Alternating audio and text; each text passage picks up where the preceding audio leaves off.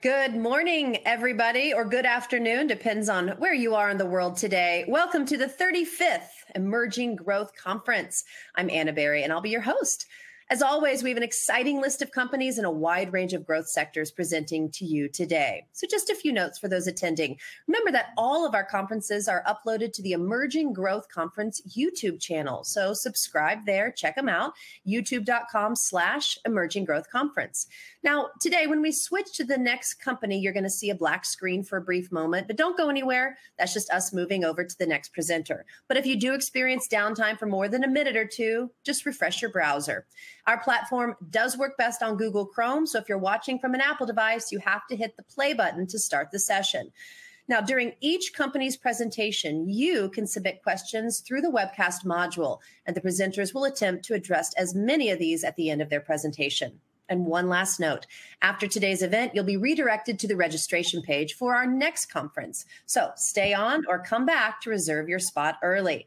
Without further ado, I want to introduce our first company. We have Splash Beverage Group. It trades on the New York Stock Exchange American under the symbol SBEV and is an innovator in the beverage industry, which owns a growing portfolio of alcoholic and non alcoholic beverage brands, including Copa di Vino wine by the glass, salt flavored tequilas, Pulpoloco, Sangria, and Tap Out Performance Hydration and Recovery Drink. Please welcome its president and CEO, Robert Nistico. Welcome, Robert. Thank you, Anna. Great to be here this morning.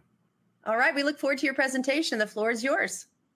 Thank you very, very much. Welcome, everybody, and I appreciate everyone joining us this morning and listening to uh, our story. Uh, I'll get right into it here as you know, uh, forward-looking statements uh, have to be uh, acknowledged by all all viewers. um, I think you all have seen enough of these. I don't have to read it line by line. Uh, a little bit about the history of Splash. Um, as Anna said, we are uh, NYSE American SBEV. We did uplist uh, approximately a little over a year ago. we are very, very busy growing our organic, our legacy portfolio organically, while we also look for potential acquisition targets as well. Um, it's a very, very important uh, sort of dual uh, uh, path to growth for us. So, organic growth and acquisition, very important. Our team, we'll get into in a moment, um, our executive management team and our board, we believe, are second to none. Uh, and um, uh, we'll get into some numbers here right now so everybody can uh, get a good feel for the company. Um, like I said, SBEV. Um, actually, our share price, I think yesterday we closed uh, closer to 306. Um, so our market cap's a little bit higher. Um, and our average trading daily uh, daily trading volume, excuse me, uh, is right around a little over a million, uh, about 37 million shares outstanding, almost 38 actually. And our balance sheet is in good shape. From a revenue standpoint, uh, we keep experiencing quarter over quarter record growth. Uh, Q Q1 grew um, at 86% over uh, the previous quarter. And as we uh, uh, prepare for our, our uh, reporting in August for Q2, um, we'll see where we are, but no reason to expect anything different. Um, really, four platforms here for us. Any business needs uh, needs these things, but we're keenly focused on this. Our management team and our board are industry leaders, second to none. Um, our distribution is exceptionally important in beverage. Um, it, it, sounds like a commonsensical thing, but you'd be surprised how many people miss that. Uh, if you're not on the shelf, you're not for you're not for sale. We could have Anna and Robert's uh, uh, iced tea or or tequila, but it's not there. It's not for sale. Nobody cares. Uh, our core values, um, really, there are three: pre-existing brand awareness, which makes our job a lot easier. People already heard of brands like Tap Out, um, then they see it on the shelf on a on a major retailer like Walmart, for example, uh, it's instant credibility. So that pre-existing brand awareness is very important, and then and or pure innovation. In the case of our tequila, um, there are so many flavors out there, right? No one's done it really well or hardly at all for uh, for uh, in the tequila segment. So we have flavored tequila, so we consider that pure innovation uh, with uh, with the safety net, right? People already understand and love tequila, and they love flavors, so it makes sense to marry those two things together. Uh, and then, of course, industry growth through acquisition and the right timing is is critically important. Um, you know, the, uh, the, beverage business, it's massive, um, 1.5 trillion uh, in valuation at this point. Uh, in the next several years, people expect um, uh, the analysts are expecting this thing to go actually go over two trillion, certainly 1.8 by 2024. There have been so many exits um, um, in this space, and the nice thing about the beverage space, I believe tech does this as well, but um, when you exit in beverage, it's it's on a multiple of top line revenue, not EBITDA. So in the case of Coca-Cola, they paid this is a while back, but they paid 4.2 billion for for vitamin water. Um, so you know, uh, on a number of over over enterprise value. So it's a it's a fun space. A lot of people want to be in it uh, for this reason, for sure. Uh, so tons of exits out there. Uh, we'll get into some examples here in the next slide. Um, you probably remember some of these uh, Dr. Pepper Snapple, which is now Keurig Dr. Pepper, bought by for 1.7 billion. Of course, everybody knows about George Clooney and Rande Gerber selling Casamigos for a billion dollars. That was 20 times enterprise value. Uh, I don't expect to see a lot of high numbers like that out there. George Clooney is George Clooney. I wish I was George Clooney, uh, but we um, uh, we we we really don't expect to see multiples like that. A good average out there is somewhere between five, seven, eight times uh, top line revenue. Deep Eddy, Bolthouse Farms, and of course Vitamin Water. And there have been umpteen exits since this, uh, but these are kind of the most notable. Um, a little bit about our management team, which we're very, very proud of. Um, I, my background is all beverage uh, and a little bit of private equity. Uh, I started my career with Gallo, ran through the whole system. Uh, uh, I, I, left Gallo. I did the unthinkable and I left Gallo. I went to work for Diageo. Uh, I was the number three person at Republic National RNDC Distribution, uh, which is the second largest distrib- distribution company in the country. Uh, came back to Diageo um, and then left and went to Red Bull. We started Red Bull from scratch in the Americas. we went from zero to about 1.6 billion in annual turnover. pretty proud of that that's important because it developed a lot of really strong relationships for us moving forward. Uh, did another quick uh, project with uh, Bob Marley's family and got that to about 40 million in revenue very quickly. Um, Bill Meissner, our president, uh, has the same same pedigree. He's he's been president and CEO of many companies, you know. Uh, from sweet from sparkling ice actually physically developed that himself with talking rain uh, uh, Sobe, um, you name it, uh, did Nas and also Sweet Leaf Tea. Bill is a prince of a man, and we're honored to have him aboard. Um, he um, uh, is a tremendous partner and also a chief marketing officer. Uh, I'm skipping over Sanjeev for the moment. Aida Aragon, also um, a tigress. I wish we could. I wish we could clone her. She is our SVP of national accounts uh, in front of every national and regional chain in the country with her and her team doing a fantastic job. I have to be careful what I say here uh, as we're moving forward, but she is um, she is very effective. I'll say it that way. Uh, and then uh, Ron Wall joined us just recently. He was the CFO for William Grant, uh, managing one and a half billion dollars of finance in 50 countries. Uh, very, very proud to have Ron on board as well Ron and Bill uh, and Aida really running the business uh, along with um, uh, with my uh, cheering on the side, if you will. Um, Ron is a tremendous addition to the to the executive management team. Pardon me, Sanjeev Javia. I save him for last on this. Um, he's a salaried employee, but he's also an independent contractor. Jeevers is a savant when it comes to formulation. He really built the tap out form uh, formula, but he's really, really uh, considered probably top five nutritionist in the country. The man is um, uh, incredible. Uh, he's written 600 nutritional plans for professional Olympic athletes across uh, across the Americas. And why that's important is when we are at arm's reach with Tap Out, people like you name it. His roommates with Tom Brady, by the way, all through his undergrad. They're still very, very good friends. Um, uh, you know, you name it from a Phil Mickelson in golf or Kurt Warner, name an athlete, and Jeevers has written a nutritional plan. Uh, so we're very, very excited about that because when the time comes, we can turn that on and people will tweet and Instagram for us, and it costs us absolutely nothing. Uh, we are putting a dream team together to represent Tap Out, by the way, and we'll talk about that here in a little while. Uh, so it's a tremendous team. Very, very, very proud of it. Um, our board, uh, we have Peter McDonough, who was the president, chief innovation, and chief marketing officer for Diageo for about a decade. Uh, myself, of course, on the board, I'm the founder and, chairman, actually. You already know my background. uh, a gentleman named Justin York, who was a capital markets expert, had taken probably 28, 29 companies public. Tremendous resource for us as we were becoming public. And then, of course, uplisting. Candace Crawford has joined the board uh, about six months ago or so. Now, uh, Candace uh, comes to us from Coca Cola and basically lives our our um, uh, our business model. She's amazing. She's also the chair of our audit committee, extremely astringent, which is exactly what we want. We all want to sleep at night to know that our filings are accurate to the nickel. Uh, Candace is uh, chair of our audit committee and also on our com committee. She's fantastic. And we are uh, uh, in discussions and searching for our fifth board member. Uh, it'll, it'll, be an independent board member. I'm so sorry, everybody. Uh, and then from a a not informal advisory position. Uh, Pete Carr, who's one of our former Red Bull VPs, uh, he's president of Bacardi right now.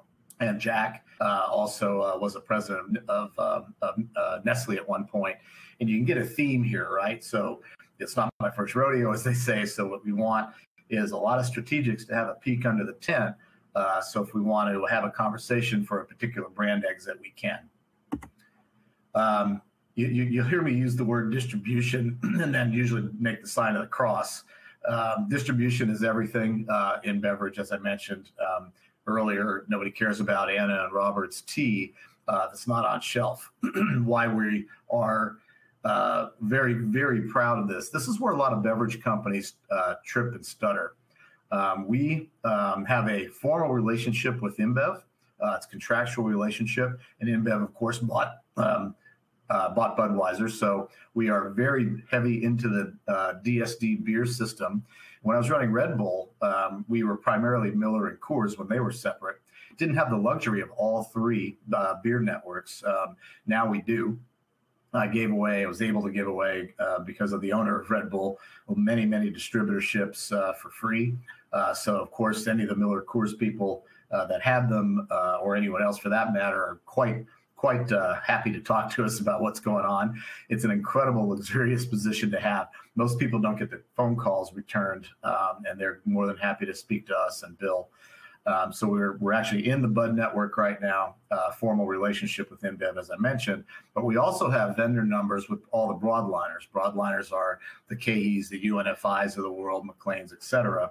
So if a chain retailer says to us, "Hey, look, you know, we don't want to go through the beer DSD, which stands for direct store delivery, by the way. If we don't want to go through the beer network, then we can go uh, broadline. Um, this is a live example. This happened to us actually in Texas. So we immediately shifted gears and we uh, were running with KeHE to bring a particular brand to a particular retailer, and we have product on shelf in five days. I mentioned our two uh, um, uh, core values of being uh, pre-existing brand awareness and pure innovation the third unofficial one is execution, execution, execution. A lot of people say these words, but we honor these words and, and we do what we say. We're very proud of that. So we can get product on shelf very quickly. And of course, you know, direct to warehouse works as well. Um, we also happen to have our own B2B and B2C uh, vertical platform for distribution as well. It's like a mini Amazon. We focus on our beverages, but we sell a lot of other things as well. Um, it's a tremendous platform for us, and it has the ability to uh, to really drive a lot of revenue with, with very good margins. Um, the, the, the strategy behind this, the vision behind this, is for as uh, uh, state lines crumble, um, we'll be in a position to ship beverage alcohol across state lines. That hasn't happened yet. I want to make sure everybody understands that's very clear. Uh, so right now we're shipping what we can legally within state and across state lines. But this is not the Drizly model. That Drizly model is very different. This would be direct to consumer from our warehouse. So uh, if and when that happens, this will be a, a tremendous advantage uh, over our competitors because I'm not aware of anybody that our size that even has anything like this. Whether it exists or not, I'm not sure, but I'm certainly not aware of it. Uh, so this is a very important thing for us. It also allows us to incubate brands, um, prove it, you know, proof prove the concept, and then migrate them to traditional distribution. Uh, so it's a really nice platform. Uh, we can do R&D uh, or we can acquire something small and accelerate that that revenue and then migrate it to traditional distribution. It gives us a vertical approach that's unique um, and, um, and a tremendous place to, to test and prove brands. Uh, the four brands that Anna mentioned, uh, of course, Tap Out, we have Salt, naturally flavored tequila, Copa di Vino, and Pulpoloco. Loco. Um, salt, naturally flavored tequila, it's an incredible product. Um, uh, there are three key drivers with the uh, in, in the spirits business right now, and, and it's the tequila category itself is actually driving the, the entire category. In fact, um, uh, it's, it's the highest growth segment within the spirits segment itself. Uh, flavors have been driving have been driving uh, spirits for many many years. Think about what flavors did for rum and then vodka. Now even today, brown goods, really really cool stuff. Um, so we're um, uh, we're playing in a space where really no one has done anything with flavored tequilas before. There have been a few off SKUs here and there, so, but for the most part, no one's really done it. We have a chocolate, a berry, and a citrus. Uh, they're phenomenal, and most importantly, the quality is there. It's it's 100% agave, and they're 80 proof. That's very difficult to do with a spirit generally when you add a flavor to a spirit you're adding sugar and it gets heavier it's almost like a liqueur it's sticky um, but this is just the essence of these flavors. You can do incredible amounts of things. I urge you to go to our website and look at some of the recipes. Phenomenal product. Um, uh, uh, well, I spoke I spoke in advance here, so all, all 100% agave and all three flavors. Um, just some activation that we're doing with this product. Uh, people love it. Uh, we own all the IP and the glass, the, the shape of the bottle, everything. It's all ours. Tap Out hydration recovery product. Most of you uh, probably remember Tap Out from the UFC days. Um, remember, I keep talking about pre-existing brand awareness. Tap Out's been around. Pardon me. Tap Out's been around for. Um, there we go. Tap Out's been around for about 24 years. Um, so there's tons of pre-existing brand awareness, a lot of eyeballs on the product. Um, we've um, uh, we've actually just launched a fourth SKU. It's a, a mango peach. It's outstanding. It's selling exceptionally well, uh, but it's an amazing product. Again, not because it's ours, um, but it's a better mousetrap. Um, we're competing in the Gatorade, Powerade, and now Body Armor segment, and we believe will be the fourth leg to that table. Uh, but it's all five electrolytes, and we're all natural, uh, which is uh, uh, uh, unique to Tap Out only. So we'll be able to play in the natural food space as well. we're in front of those chains as we speak highly efficacious and it tastes good. Very difficult to mask all those nutrients. Did it's an incredible product and it's for sale in a lot of major retailers already uh, across the state of Florida, across the south of southern United States. We're in Walmart stores, uh, uh, et cetera. So it's product selling very well. We're very very excited about it. We believe it will be the fourth leg of that table. Um, we pr- produce this product with the white space in mind, meaning, you know, Gatorade, American iconic brand. I mean, you can't beat, you know, can't you can't knock Gatorade, right? Um, you could argue their ingredients aren't necessarily with what's on trend with consumer, uh, but the brand itself, you know, six seven billion dollars. Powerade, same thing. So strong iconic value, but but nothing in the premium price segment. We want to exist in the premium price segment. We are price premium to these guys intentionally. When we were building out Red Bull, uh, the price was higher than what people would expect. We, we launched that product at two dollars. It was price premium to everything, anything else out there. In fact, it's even more expensive today. So um, it becomes aspirational, and we even put the label in English and in Spanish uh, because of the huge connection to Hispanic um, fighters and then hand to mouth workers as well. So it's it's a very very clear strategy, and we're quite proud of it. Uh, it's working quite quite well. Um, here's a little. Uh, here are a little bit of um, uh, uh, examples of execution out in the marketplace. I believe these are Walmart stores. Um, and then on to Copa di Vino. Copa di Vino was our first acquisition. Uh, we bought it from a gentleman named James Martin. Uh, James, we call it the Shark Tank brand because James went on on television uh, twice, didn't take the money, it's great for us because we have a, um, uh, a built-in free marketing platform. The producers of that show play those play those episodes. Uh, gosh, every you know every other week. So it's uh, people do call it the Shark Tank brand, but it was the innovator in the single serve wine business, which has become huge. Copa di Vino was first. We have seven seven varieties of it. Uh, the packaging is, is ours. It's exclusive. We own it. Um, and uh, we primarily distribute it through the Bud uh, Budweiser network as well.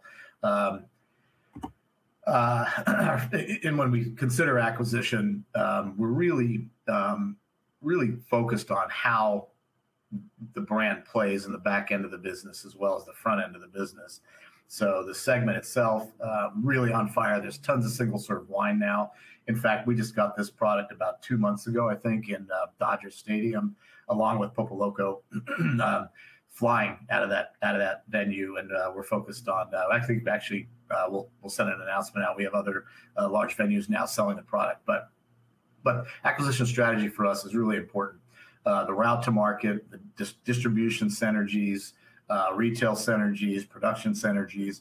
Uh, so we really uh, did a hard analysis on this on this brand, and and the brand, frankly, um, uh, was capital starved. And I've said this publicly, and it's in our filings actually. But our um, our volume is about almost 4x of when we purchased it a year and a half ago. So the brand is doing extremely well. We're uh, quite excited about it. Um, it came with a brand called Pulpoloco. It's an import out of Madrid.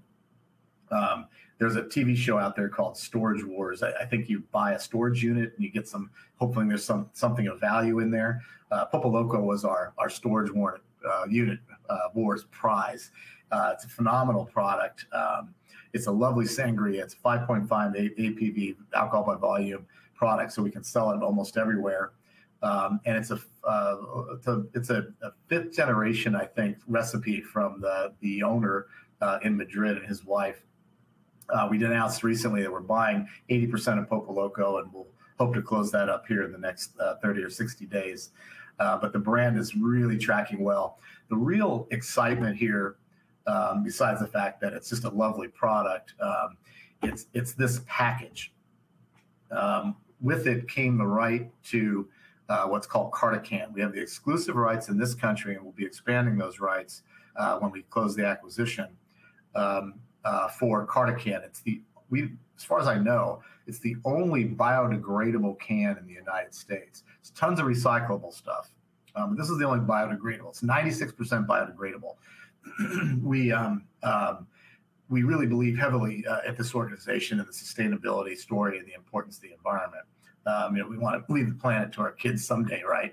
So um, uh, we're excited about this, and we'll have the ability to put other uh, uh, other SKUs of our brands into this package, and and uh, as we uh, as we expand the use of this can, so very very important um, acquisition for us. And this this came, we didn't even know it. That was the storage war portion of the story. So um, we uh, love this little brand, and you'll see more and more announcements as we. Uh, as as the, the year goes on. Uh, I think the most recent was Ralph's in southern, uh, excuse me, throughout the state of California, which is a Kroger chain uh, carrying the product, and there are others as well. So very important uh, acquisition, and the rights to this can we believe are extremely valuable. Um, all right, just to sum this up, basically you've got brands that are on trend with consumers very important. We're not trying to pet the fur the wrong direction, as they say. Uh, we have the right board and the right people, which is always critical. We have the right liquid and the right packaging, uh, and uh, having access to public capital uh, for acquisition as we move forward, critically important. Um, and again, our core values: pre-existing brand awareness and innovation, and execute, execute, execute. Um, I apologize again for my voice. I don't know what's going on. Uh, Anna, I'll turn it back to you. Maybe I can clear my throat here. Take your time, drink some water. It's all good. I understand, Robert. Okay, I like the idea of the Robert Anna tea. Uh, maybe we can call it the Anna Berry, a berry flavor. oh, oh I like it. Okay, great presentation. You've got some really nice products here. Uh, we've got tons of questions from our audience. Uh, let's start in. Uh, David, Figueiredo, I hope I pronounced that correctly. Um, he wants to know if you could explain in detail the potential of the biodegradable can for the beverages. Do you have rights globally or just North America? And how are you going to maximize its potential? Yeah, great question. Uh, love talking about it. It's an incredibly valuable asset. Um, uh, for the, second half of the question, David, we are uh, we right now we have the rights for the for the United States. Since we announced we'll be purchasing Pulpoloco, um, that will expand our exclusive rights throughout the Americas. Um, there's a group in Europe that already has European rights, and they've the can has been very successful. By the way, it's great. Sold four or five billion units, I think, uh, in Europe. So Um, our plan now will be to, um, we're importing that can right now from Europe. Our plan will be to partner with CartoCan and start producing those cans here in the Americas. Um, I've said this publicly, so this is not forward looking. Uh, our intention, our vision will be to start in the United States and then have another uh, canning uh, facility in Mexico and one in South America. Uh, the final vision there is to obviously uh, uh, the, oh by the way there's tremendous impact to, to, cost of goods sold to cogs here. Um, aluminum is very expensive today. Um, uh, even with our relationships you know we'd be paying 20 25 30 cents for a can of aluminum right now before we produce in the united states without the liquid this can is landing here in the us at 8 cents we produce it here we think we can get that down to about 4 or 5 cents so it has a tremendous positive impact to cost of goods sold and our finished goods. Uh, and then if we have excess capacity, we'll sell that excess capacity uh, to uh, to other brands. So we believe it's going to be a nice profit center for us. Great. John McNamara says, impressive string of distribution announcements, but can you tell us if you've seen the impact yet in reported numbers? And if not, when can investors expect to see the impact in those numbers? Yeah, another great question. Um, anybody who's familiar with the beverage space, um, there, there's it's brick and mortar. It takes a little bit of time. Um, we had a record quarter in Q1. Um, I don't see why that won't continue throughout the year. Not forward looking, just just my own feeling. Um, it takes uh, the, the, physical mechanics of launching a distributor. Um, there's a, there's a great deal of time. So you make you have to you have to negotiate the contract.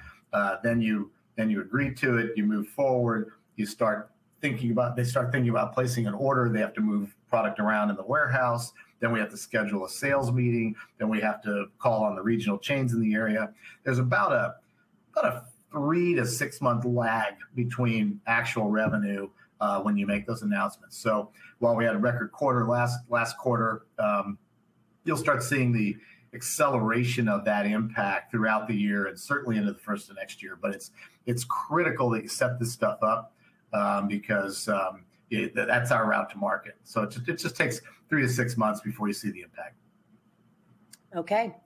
David Oliver says year after year, your assets are up about 25%, liabilities are down about 12%, and sales have doubled.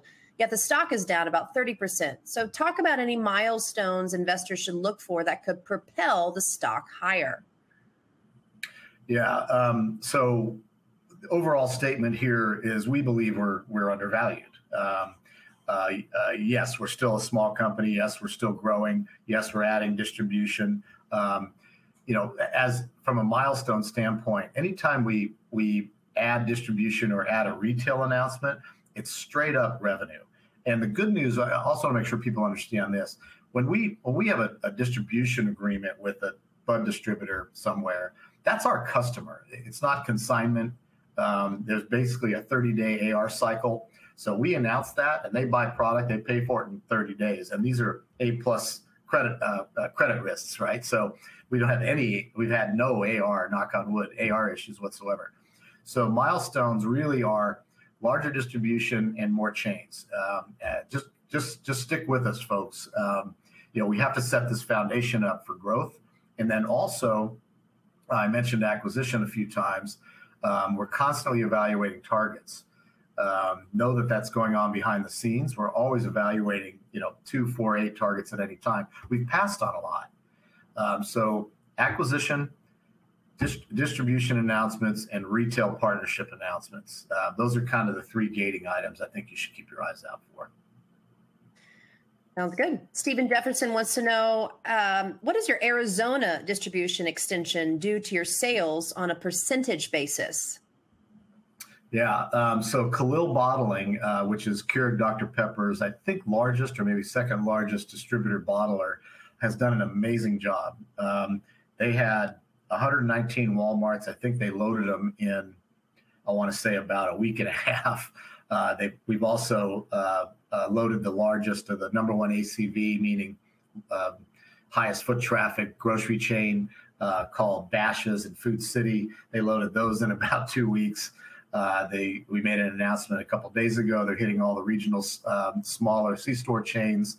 Uh, they're doing a fantastic job. They're uh, they're also uh, exist outside of Arizona. They're in Colorado, New Mexico, and I think El Paso.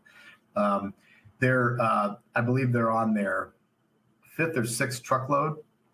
And but the most important thing is their repeat purchase. Um, so we have we're experiencing repeat sales in every one of those accounts. So that's very very important uh, with, with, respect to brand health, and that will be um, uh, replicated throughout the country. From a percentage standpoint, uh, I don't have that number in front of me, but um, they're doing a great job. Um, but uh, all of our distributors are experiencing repeat sales, which is really very very important. That's the holy grail here in our in our space. Great. Susan Harvey wants you to discuss more about your plan to grow geographically, and if so, where. Also, discuss growth in your product line. Yeah, um, I'll start with um, uh, geographic growth, Susan. Um, yeah, we as we uh, have to be so careful because uh, you know we're public. Um, as we're in front of the chains, uh, every chain has their own footprint, right? Um, so when we announce, uh, pardon me, I'm sorry, I'm so sorry. As we announce a new chain, um, we'll, we will expand within that footprint.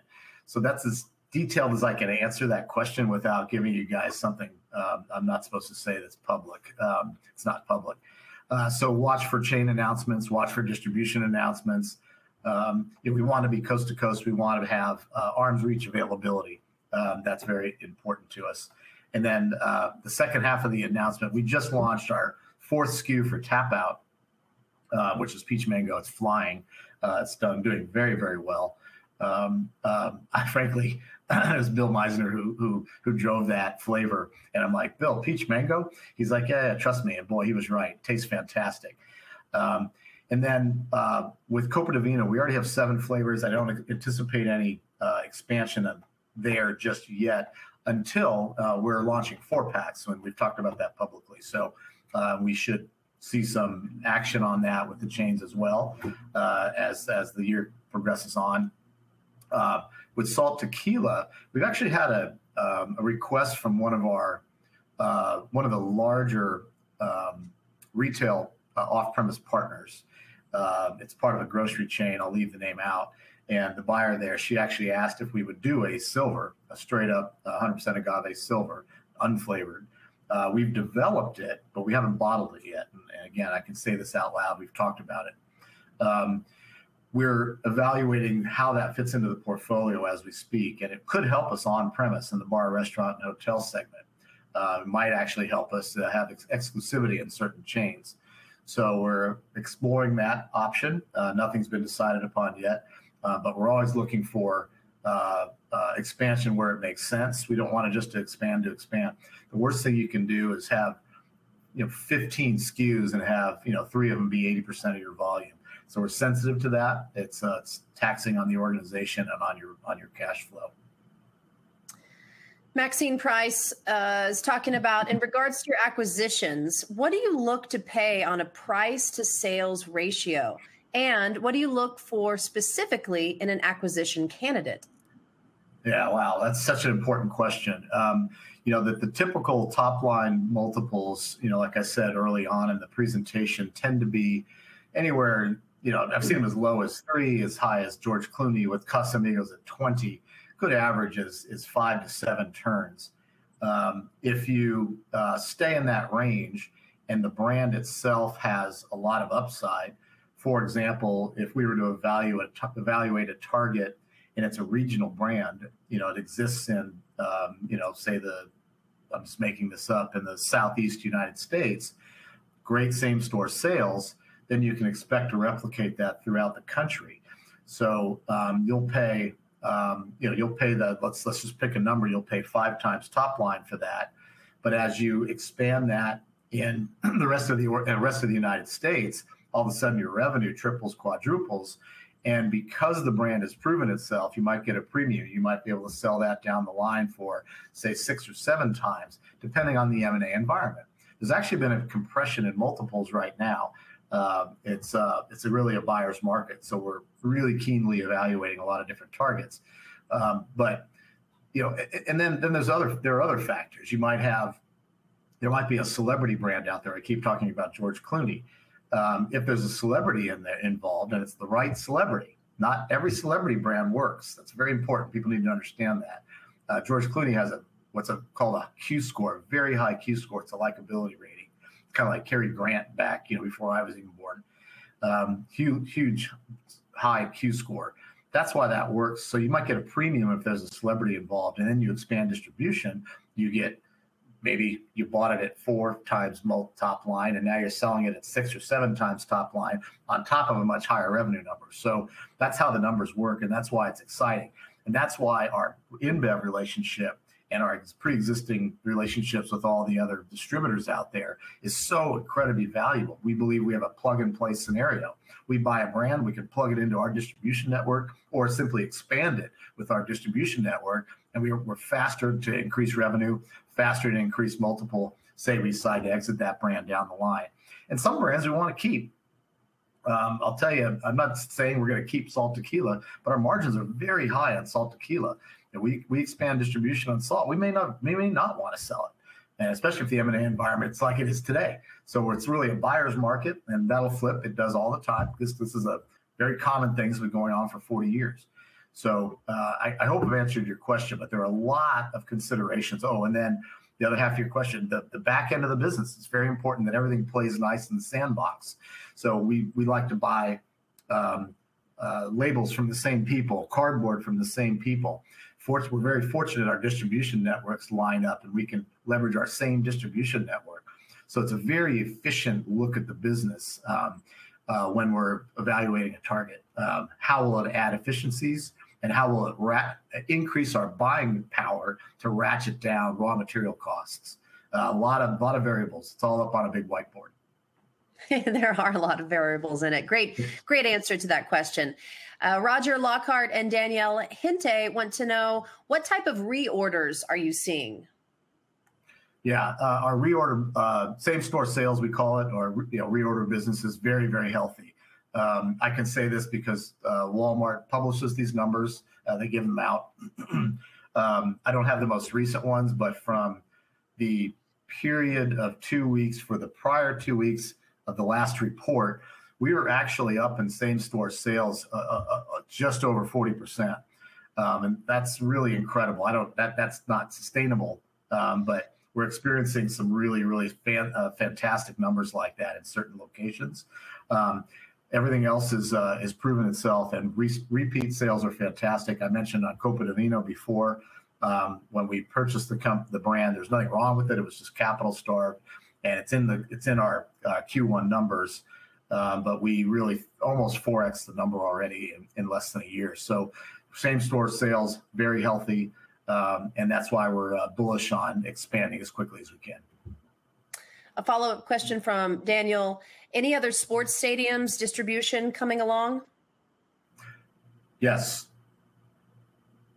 Again, be careful what I say, but that's a, uh, an important target for us. Uh, you know what I can say? I'll say it this way: uh, we have uh, just in um, we've just uh, engaged in a uh, an incentive for our distributors to open additional large venues like that. Uh, and a lot of the a lot of the large venues had Copa di Vino uh, back in the day, so uh, we're just reinvigorating it. But we're oh, we're also in Madison Square Garden. We've been there for uh, I think actually when we bought the brand. So uh, so we're in you know key East Coast, key West Coast, and we have a lot of targets with an incentive in place right now. Fantastic. Nicole Craig wants to you to talk about your white label business. Do you have any, and are you packaging for other brands? Uh, not right now. Uh, it's interesting you bring that up, though. We've, we've had a couple of inquiries recently about that, um, and we uh, will consider it. Um, it. We're first and foremost concerned about our own brand and our brand DNA. Um, but if we can bottle for someone else while we're bottling our own, and it doesn't create any production issues, and it's and it's easy. It's like contract manufacturing they send you a check and you send them the product. So uh, we will absolutely do it um, in the right scenario. But our brands are our family, our children. Uh, we're going to protect those first uh, but we will do it if it's uh, if it doesn't get in the way. Tony Rivera says congratulations on the growth. Uh, a few questions from Tony. He wants you to detail any revenue you receive that is not selling or distributing beverages. Thank you, Tony.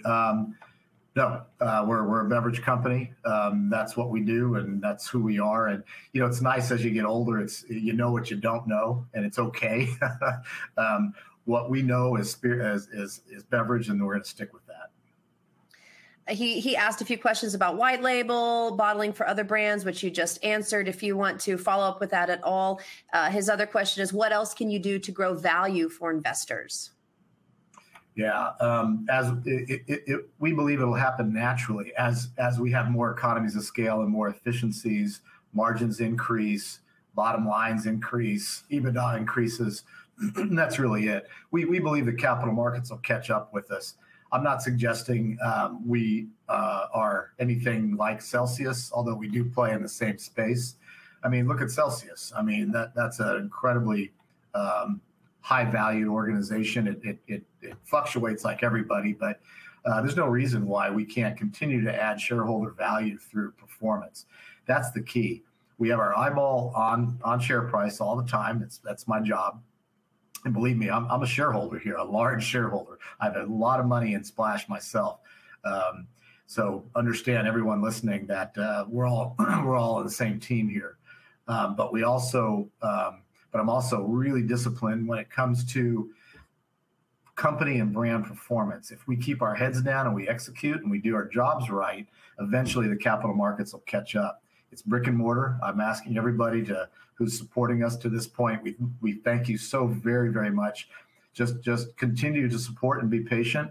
Um, and um, and the company is well on its way, and we believe that that base performance of the company will ultimately add shareholder value. Great answer. Daniel Hente also wants to know if you have any more institutional support. Um, uh, as we evaluate acquisition targets, um, large and small, um, those generally, historically, uh, would come with large institutional support. Uh, so right now, yeah, we have some some medium-sized institutions that are buy and hold. Um, and this this sort of goes back into the last question as well for both of you. Um, obviously, um, our our objective for new shareholders or our current shareholders is buy and hold. I'm, I'm not selling a share. Uh, I can look you dead in the eye. In fact, I even you can see our Form Fours. I even bought more shares uh, last month. So um, and we filed Form Fours for all of them. But but buy and hold is really important to us, and large institutions do that.